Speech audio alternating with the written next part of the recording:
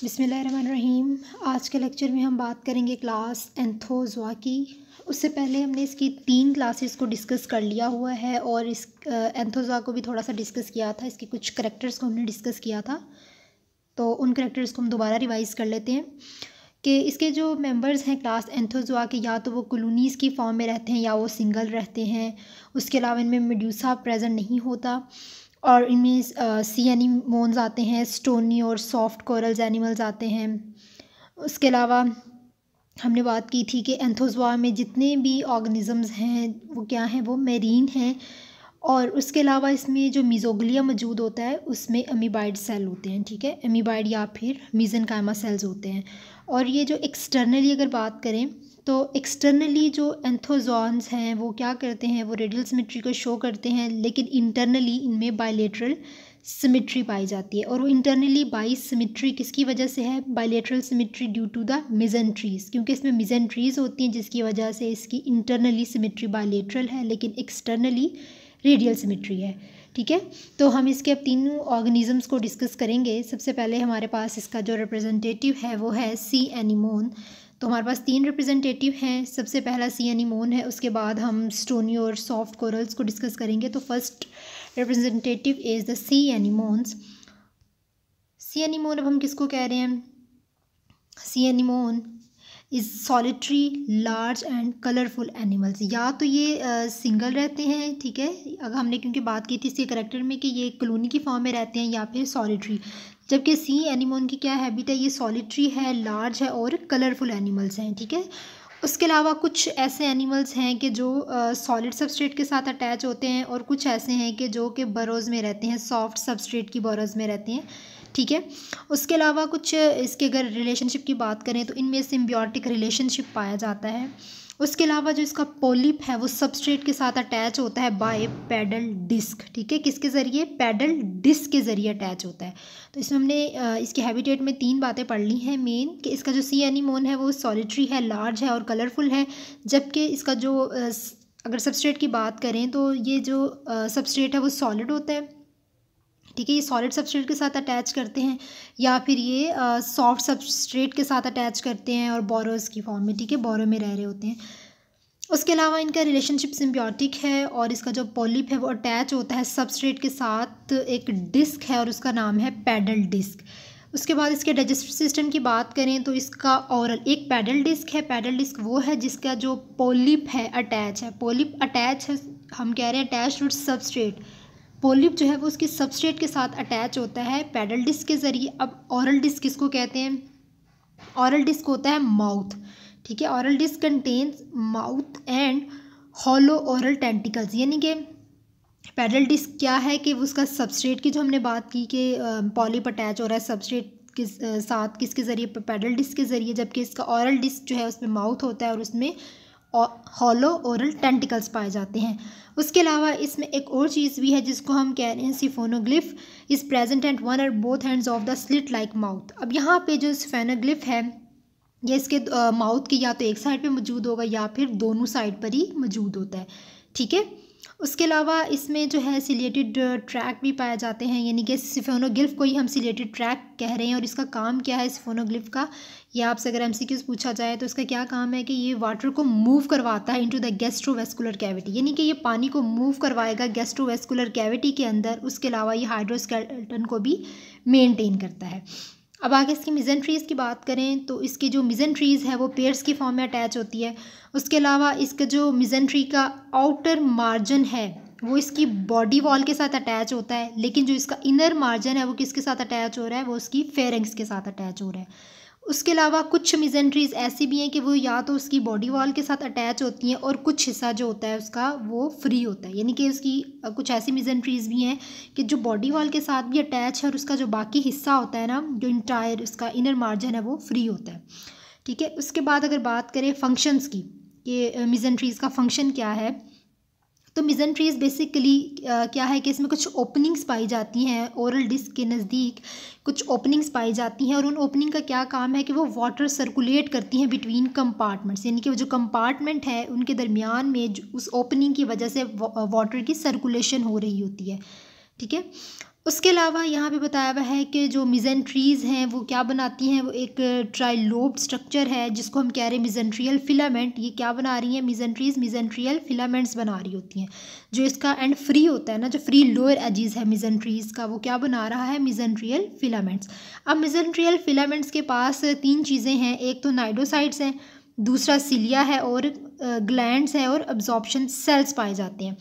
अब सिलिया क्या काम करते हैं? सिलिया हेल्प करते हैं वाटर की सर्कुलेशन में। जो ग्लैंड सेल्स हैं वो डाइजेस्टिव डाइजेस्टिव इंजाइम को सक्रीट करते हैं। उसके अलावा जो अब्जॉर्प्शन सेल हैं वो क्या करते हैं? वो अब्जॉर्ब करते हैं प्रोडक्ट्स ऑफ़ डाइजेशन यानी कि जो चीज़ें डाइजेस्ट डाइजेस्ट हो सक, हो जाती हैं उसके बाद उनको अब्जॉर्ब भी करना होता है। तो अब्जॉर्प्शन सेल क्या काम करते हैं कि वो चीज़ें जो डाइजेस्ट हो गई हैं जो उन्होंने खुराक वगैरह ली है वो जब डाइजेस्ट होती हैं तो उसके जो प्रोडक्ट्स होते हैं, उनको डाइजेशन करने का काम करते हैं। जैसे आप खाना वगैरह कुछ खा रहे हैं, पहले जो है वो डाइजेस्ट होती है कुछ इंजाइम्स की मदद से, फिर उसके बाद वो आगे अब्जॉर्ब होती है, फिर डिफरेंट सेल्स में डिस्ट्रीब्यूट होती है। सेम इसी तरह यहाँ पे बताया हुआ है कि हमारे पास जो है, हमने बात कर ली कि हमारे पास मिजेंट्रीज़ की तीन फ़ंक्शंस हैं। सबसे पहले तो यहाँ पे कि मिजेंट्रियल फिलामेंट्स में क्या चीज़ें मौजूद हैं? नाइडोसाइड्स है सिलिया है ग्लैंड्स है और अब्जॉर्प्शन सेल्स हैं। सिलिया क्या करते हैं? वाटर सर्कुलेशन का। ग्लैंड सेल क्या काम करते हैं? कुछ इंजाइम्स को सक्रीट करते हैं जो डाइजेशन में मदद देती हैं। उसके बाद अब्जॉर्प्शन सेल क्या काम कर रहे हैं? अब्जॉर्प्शन सेल अब्जॉर्ब कर रहे हैं प्रोडक्ट्स ऑफ़ डाइजेशन ठीक है? उसके बाद हम बात करते हैं अकॉन्शिया की। अब अकॉन्शिया एक थ्रेड लाइक स्ट्रक्चर है जो इसमें मौजूद होता है मिजेंट्रियल फिलामेंट्स में। पहले मिजेंट्रियल फिलामेंट्स में हमने बात की थी कि नाइडोसाइड सीलिया ग्लैंड्स और अब्सॉर्प्शन सेल मौजूद है। अब इसमें एक और नई चीज़ आ गई है। उसको हम कह रहे हैं कॉन्शिया या, ठीक है?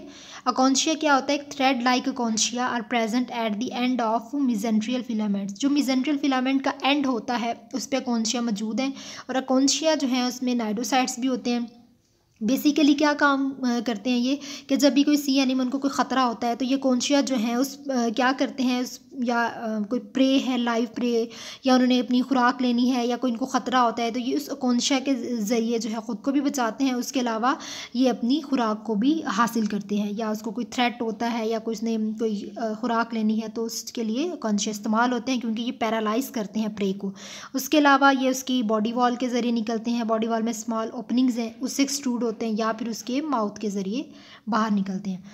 आगे बात करते हैं इसके मसल्स की muscles and hydroskeleton muscle fibres are largely gastrodermal muscle fibres किससे मिलके बने हुए हैं? They are made by gastroderm ठीक है? उसके अलावा इसमें जो लॉन्गिट्यूडनल मसल बैंड्स होते हैं, वो रिस्ट्रिक्टेड होते हैं मिजेंट्रीज से। They are restricted to the mesenteries उसके बाद जो इसमें सर्कुलर मसल्स होते हैं, वो क्या है कि circular muscles are in the gastrodermis of the column जो लॉन्गिट्यूडल मसल है, वो मिजेंट्री से रिस्ट्रिक्टेड हैं, जबकि इसके जो सर्कुलर मसल्स हैं, वो गैस्ट्रोडर्मस में हैं। उसके बाद क्या होता है कि जब ये एनिमोन्स को ख़तरा होता है तो ये जो इसके लॉन्गिट्यूडनल फाइबर्स हैं, वो कंट्रैक्ट होते हैं। Threatened anemones contract their longitudinal fibres it allows water to escape from the gastrovascular cavity यानी कि क्या होता है कि जब इनको ख़तरा होता है, कोई इनको नुकसान पहुँचाने के लिए आता है तो इनके जो लॉन्गिट्यूनल फाइबर्स हैं, वो क्या कर जाते हैं, वो कंट्रैक्ट होते हैं। जब इनके लॉन्गिट्यूनल फाइबर जो हैं, वो कंट्रैक्ट हो जाते हैं तो उसके नतीजे में इनमें जो पानी होता है, वो इसकी गैस्ट्रोवेस्कुलर कैविटी से बाहर एक्सकेप कर जाता है। फिर उसके बाद क्या होता है कि ये अपनी जो औरल एंड है उसको फोल्ड कर लेते हैं ओवर द ओरल डिस्क यानी कि अपने माउथ को ये फोल्ड कर लेते हैं ओरल डिस्क के अंदर। उसके बाद ऐसे लगता है कि जैसे एनिमोन बिल्कुल कोलैप्स हो गया, ऐसे लगता है पिचक गया है। फिर उसके बाद ये ख़ुद को दोबारा से कैसे रीशेप करते हैं, कैसे री स्टैब्लिश करते हैं तो ये हाइड्रोस्टैटिक स्केल्टन के ज़रिए जो है ख़ुद को री स्टैब्लिश करते हैं या पानी पीते हैं। थ्रू सिफ सिफोनोग्लिप्स ठीक है? उसके ज़रिए दोबारा से ये पानी पीते हैं दोबारा पानी इनकी गैस्ट्रोवेस्कुलर कैविटी में जाता है और फिर दोबारा से इनका स्केल्टन वापस अपनी असली हालत में आ जाता है। तो मसल हाइड्रोस्केल्टन में हमने क्या पढ़ा है कि इसमें जो मसल फाइबर्स हैं वो क्या हैं? They are largely gastrodermal longitudinal muscle fibres are restricted to the mesenteries and the circular muscles are present in the gastrodermis ठीक है?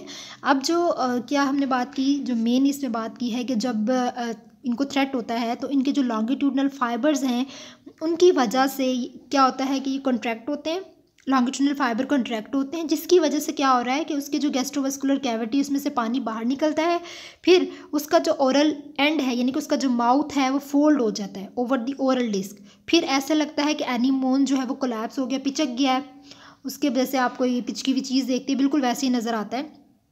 कॉन्ट्रैक्ट हो जाता है ना, उसके बाद, और कॉन्ट्रैक्ट किसकी वजह से हुआ है? लॉन्गिट्यूनल फाइबर्स की वजह से, ठीक है? ये आपसे एम पूछा जा सकता है। उसके बाद एनिमोन जो है, दोबारा से अपनी असली हालत में कैसे आते हैं वो? अब पानी पीते हैं, दोबारा से वाटर अपटेक करते हैं, फिर पानी उनकी गैस्ट्रोवेस्कुलर कैविटी में जाता है थ्रू सिफोनोग्लिफ्स और दोबारा से उनकी शेप जो है वो रीस्टैब्लिश हो जाती है, ठीक है? उसके बाद आगे इसकी लोकोमोशन की बात करें तो एनिमोल्स में लिमिटेड लोकोमोशन है, यानी कि इतनी ज़्यादा नहीं है लिमिटेड है। ठीक है, ये क्या करते हैं, ये ग्लाइड करते हैं इधर पैडल डिस्क के ज़रिए, या फिर ये क्रॉल करते हैं, या फिर ये अपने टेंटिकल्स के ज़रिए मूव करते हैं। उसके अलावा कुछ एनिमोल्स ऐसे भी देखे गए कि वो जब कोई भी इनको ख़तरा था या कुछ भी ऐसा हुआ तो ये क्या करते थे, अपने टेंटिकल्स के ज़रिए पानी में स्विम करके भाग जाते थे। या फिर ऐसा होता था कि ये पानी में फ्लोट करते थे गैस बबल्स बना के, ठीक है? गैस बबल्स के ज़रिए या टेंटिकल्स के ज़रिए ये वहाँ से स्विम करके निकल जाते थे। अब बात करते हैं इसकी न्यूट्रिशन की। तो न्यूट्रिशन में हमने बात करनी है कि किस तरह की खुराक खाते हैं। ये फ़ीड करते थे इन्वर्टिब्रेट्स को फिशेस को। उसके अलावा इनके टेंटिकल्स जो हैं वो प्रे को पकड़ने का काम करते हैं। उसके अलावा उसको मुँह में ले जाते हैं। फिर इसमें रेडियल मसल फाइबर्स मौजूद होते हैं इनकी मिजेंट्रीज के दरमियान। वो रेडियल मसल फाइबर्स क्या काम करते हैं? उनके मुँह को ओपन करते हैं और फिर उसके जो मुँह है, उसके ज़रिए उसकी खुराक उसके अंदर चली जाती है। अब इसके रिप्रोडक्शन की अगर बात करें तो एनिमल्स में जो है सेक्सुअल और ए सेक्शुअल रिप्रोडक्शन होती है। ए सेक्शुअल रिप्रोडक्शन में क्या होता है कि इसका जो पैडल डिस्क है a piece of pedal disc breaks away from the polyp यानी कि इसके पॉलिप के जो पैडल डिस्क मौजूद है, ठीक है, जहाँ से वो सबस्ट्रेट के साथ अटैच होता है, वहाँ से एक हिस्सा, जो एक पीस है, वो कट हो जाता है। और वो जो पैडल डिस्क का एक पीस कट होता है, वो एक न्यू इंडिविजुअल बना देता है। और इस प्रोसेस को हम कहते हैं पैडल एसिरेशन ठीक है पैडल एसिरेशन कहा जाता है। उसके अलावा इसमें लॉन्गिट्यूडनल और ट्रांसवर्स फिशन होती है। लॉन्गिट्यूडनल और ट्रांसवर्स फिशन के ज़रिए क्या होता है कि एक इंडिविजुअल को दो इंडिविजुअल में हम डिवाइड कर सकते हैं। उसके अलावा जो इसका मिसिंग पार्ट होता है, वो दोबारा से रीजनरेट हो सकता है। ठीक है? तो ये इसकी ए सेक्शुअल रिप्रोडक्शन है। उसके बाद इसकी सेक्शुअल रिप्रोडक्शन किस तरह होती है? ये हम देख लेते हैं। इसकी सेक्शुअल रिप्रोडक्शन होती है कि मोनोशियस होते हैं और ये डायशियस होते हैं। उसके अलावा इसमें जो मोनोशियस स्पीशीज़ होती हैं, वो क्या है कि जो मेल गैमीट्स होता है, वो जल्दी में चोर हो जाता है फीमेल गैमीट की नस्बत।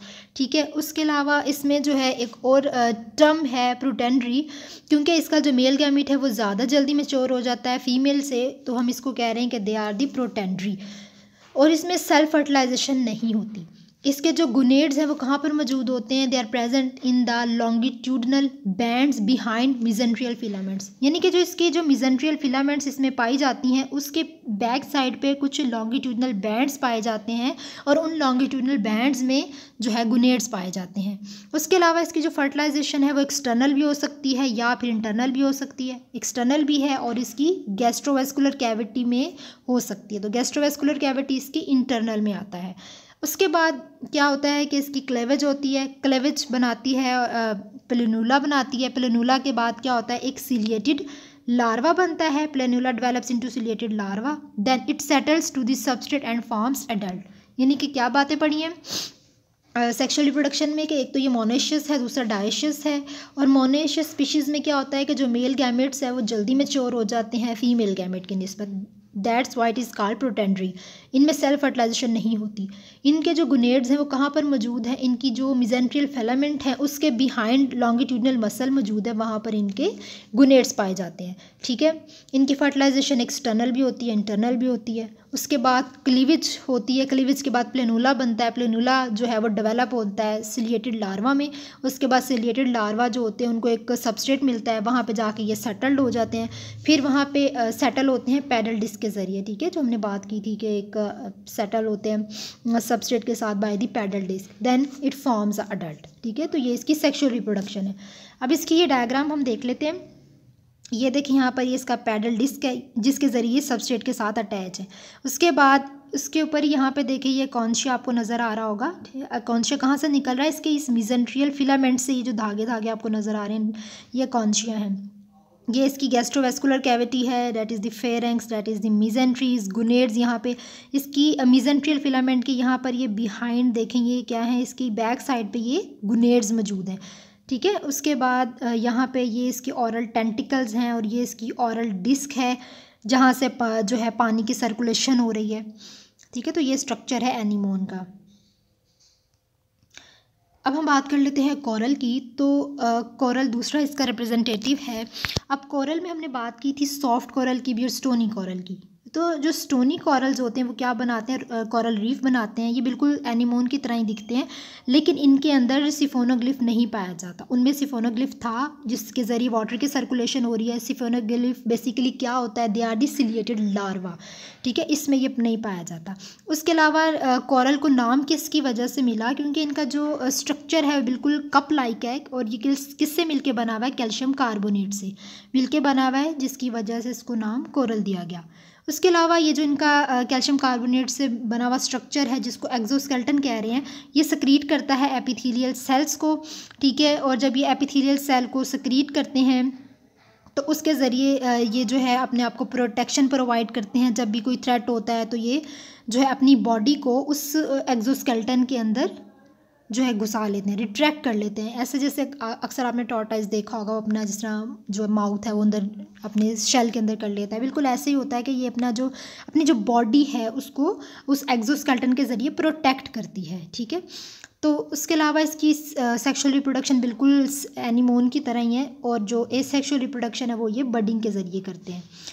अब आगे इसके बारे में बताया हुआ है कलरफुल ऑक्टा कोरेलियन ठीक है? पहले कॉरल की बात की थी, अब ऑक्टा कोरेलियन की बात करते हैं।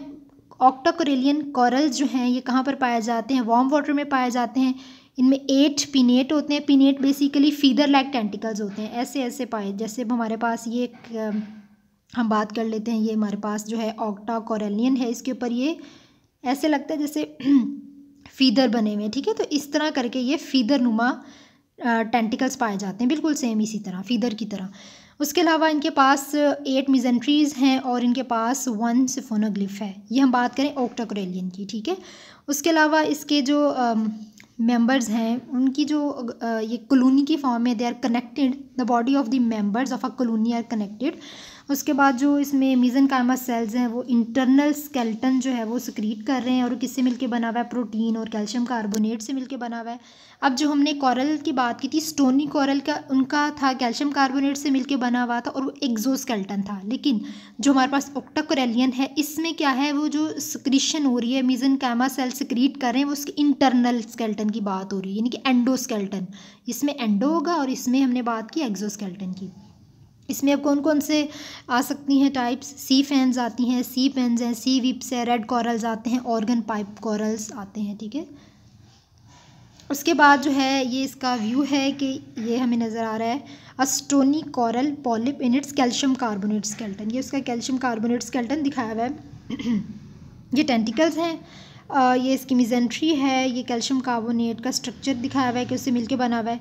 उसके अलावा यहाँ पे ये इसके मिजेंट्रियल फिलामेंट्स हैं। ठीक है तो अब जो हमारा सी एनीमोन वाला टॉपिक है यानी कि क्लास हमारी जो एंथोजवा है, वो कंप्लीट हो गई है। इसमें हमने इसके जो है तीन रिप्रेजेंटेटिव पढ़ लिए हैं। हमने सॉफ्ट कॉरल भी पढ़ लिया स्टोनी कॉरल भी पढ़ लिया है और हमने एनीमोन भी पढ़ लिया। आई होप आपको इसकी समझ आ गई होगी।